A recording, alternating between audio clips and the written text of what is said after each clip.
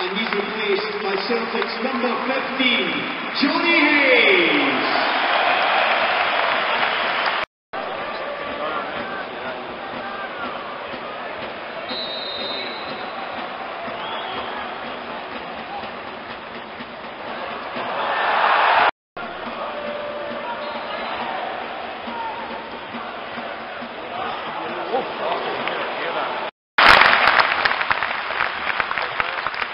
replaced by number 33, Hatim El Hamed.